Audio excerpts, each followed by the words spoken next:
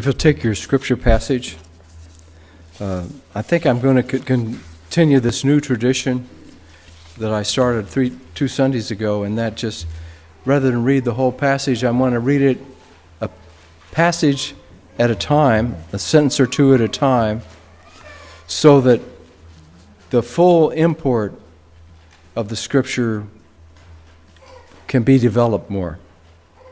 So we're starting to read at John 10, beginning at verse 11. And this is Jesus speaking I am the good shepherd.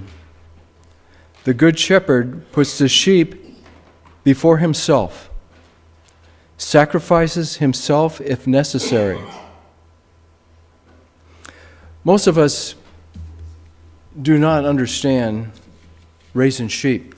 I always kid kid my friends saying, uh, one reason I got sheep is because Muhammad once said that no great prophet was ever a prophet unless they first were shepherds. So, see, I want to be a shepherd to be a great prophet and follow the Quran. But, but when you look back at it, David was a shepherd. And God took David from being a good shepherd to the sheep to being a good shepherd for the children of Israel. David made a lot of mistakes, but David was the greatest king in the history of Israel. He was greater than his son Solomon because he made mistakes, he openly admitted, and he continued to ask to be filled with the Spirit of God. And ancient shepherds would put their sheep in an enclosure and they would sleep at the entrance of their sheepfold. A wild beast coming in to kill the sheep would have to walk over their body. And so they, they really, the good shepherds, it was more than a job to them. They were willing to sacrifice themselves. And then Jesus describes people that aren't good shepherds. A hired man is not a real shepherd. He's talking about a bad employee, really. The sheep mean nothing to this bad shepherd. He sees a wolf come and runs for it, leaving the sheep to be ravaged and scattered by the wolf. He is only in it for the money, and the sheep don't matter to him. Unfortunately, from time to time, we will see religious leaders who are in it for the money and they really don't care about the sheep, the Christians that God has entrusted to them. And when bad times happen, they just run. And it's really important when you come to church, don't keep your eyes on the elders and deacons. Don't keep your eyes on the pastors. Keep your eyes on Jesus because elders, deacons, pastors, myself included, from time to time, can harm your faith. Keep your eyes on the good shepherd, Jesus is saying. I'm the good shepherd. You know, the really good elders and deacons and pastors try not to offend people but they're human beings. They got feet of clay. And so, really focus on Jesus. And I, fortunately, I grew up in a church where they taught that. And I never lost my faith as a Christian. But if that is not taught in congregations, uh, in some congregations, really one person centered, the pastor or the pastor's uh, staff, and you're going to you're to be disappointed. You're never going to be disappointed in Jesus, but human beings will disappoint you. My grandpa Norris had to leave home when he was 12 years old. His father ran away with the, the lady who helped on their farm, the, the hired help, he ran away with her. he had a terrible childhood. He had to ride the rails looking for work. He would get on a, these trains. There used to be a lot more trains. And he would ride the rails and find places to work at 12, 13.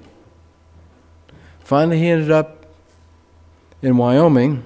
He married my grandma, and they started going to the Christian church in Wheatland, Wyoming.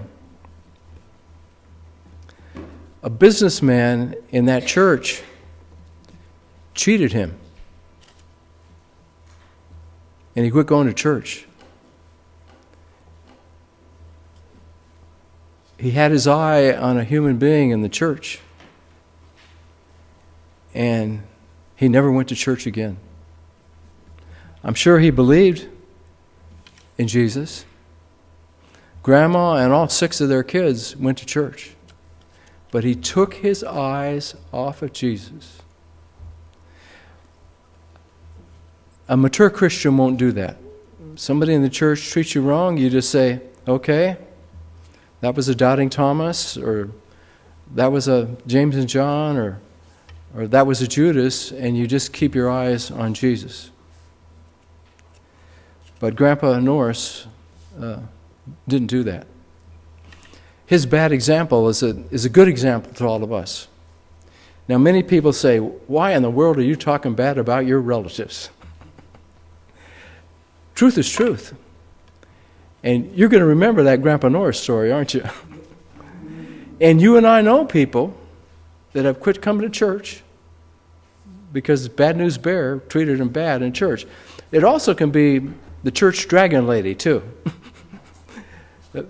that said a gossip or bad word, and people quit coming to church because it's some other man or woman. When you and I stand before God, hey, you remember this Good Shepherd story? I, Jesus warned you about bad shepherds. And you remember David, he actually killed a bear. And there used to be bear in Palestine that was trying to kill his father's sheep. And he killed a lion, and there used to be African lions in Palestine. They lived in the Jordan River Valley, there was a lot of game there. These were full blown African lions.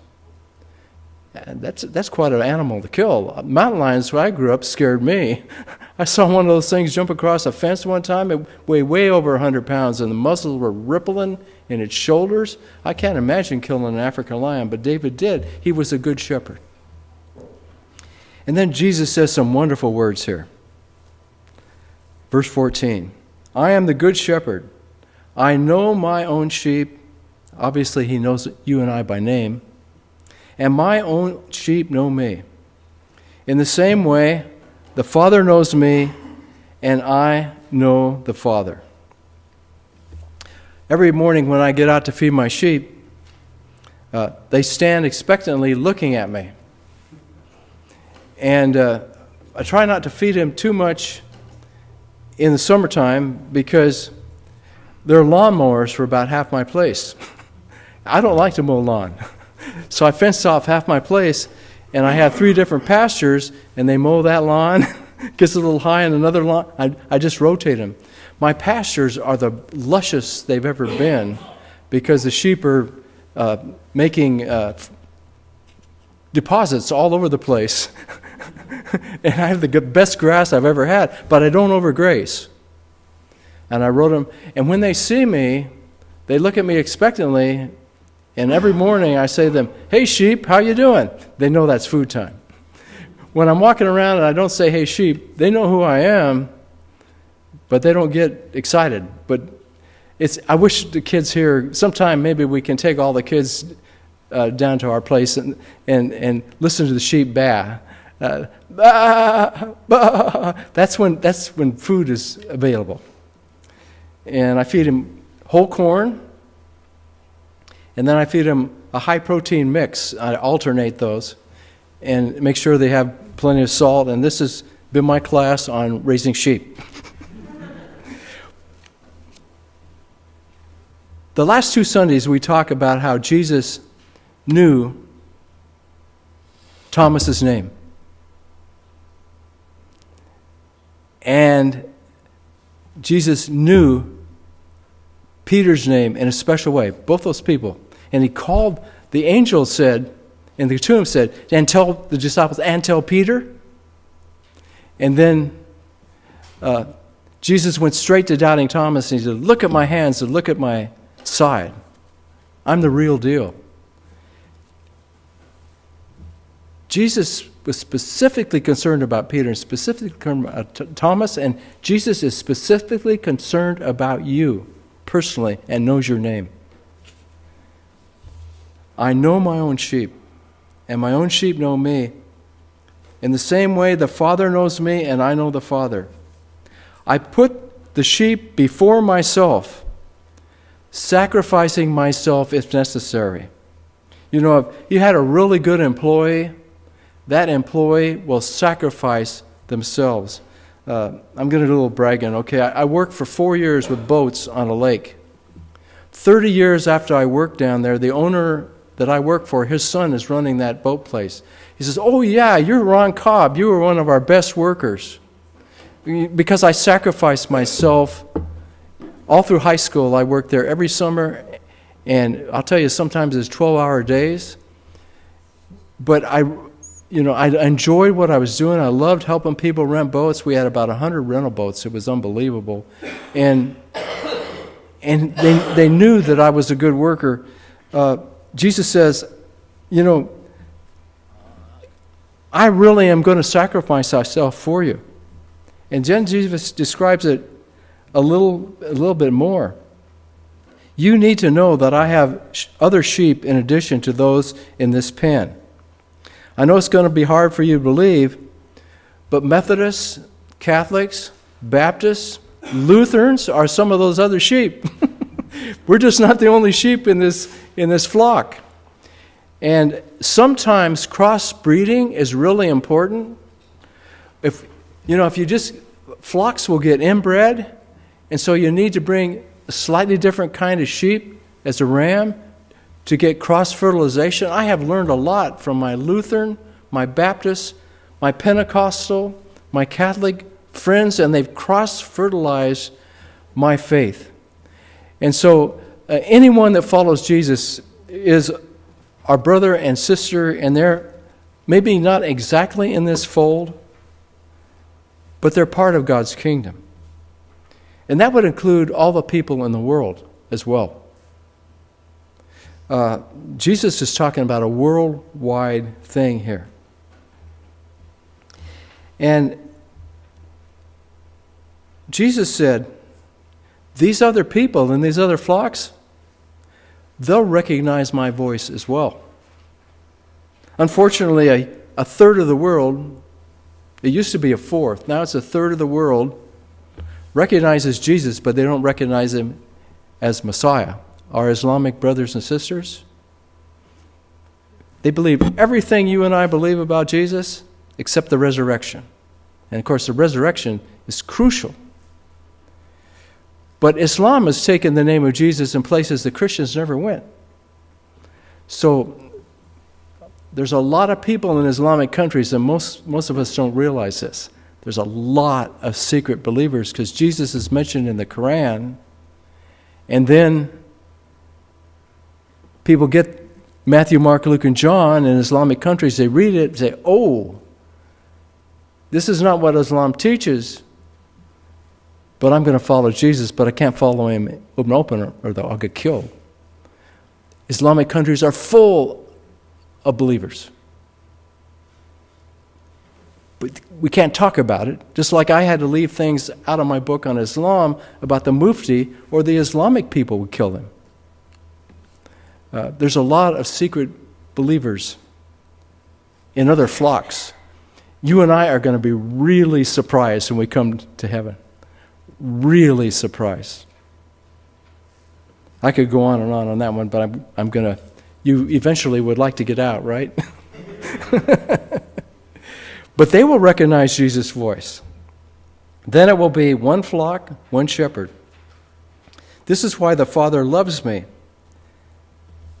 I freely lay down my life. and I am also free to take it up again. Jesus is trying to make this real clear to you and me. No one took Jesus' life. It wasn't the Jews, it wasn't the Romans, it wasn't the religious people in the temple that wanted all their money and power. He laid it down freely. When you take the bread and the cup of communion, He consciously laid His life down for you, and He knows your name. This is a personal thing. When you take that bread and cup and you remember His broken body and shed blood, He consciously laid that down for you by name. You're just not a number with Jesus. I have the right to lay it down. I have the right to take it up again. Essentially, this is God speaking through Jesus. I receive this authority personally from my Father. You have received a tremendous amount of authority as a follower of Jesus personally from God. There's a, there's a song that says, Into the love of Jesus, deeper and deeper I go, seeking to know the reason why he should love me so. Let me encourage you have morning devotions every day. I spent an hour with a friend of mine this last week, having a lot of problems. Wonderful Christian. Are you having morning devotions? I ask him. Because 10 years ago, I asked him the same question. No, I'm not. If you want to work your way through these problems, I said, start every morning. It doesn't have to be a huge chunk of time. Start every morning. Say, God, this is me. I need some help. Read about the life of Jesus. Read daily devotions. Your depression, your anxiety, all these other problems would be greatly lessened if every single day you get back to where you used to be in having morning devotions.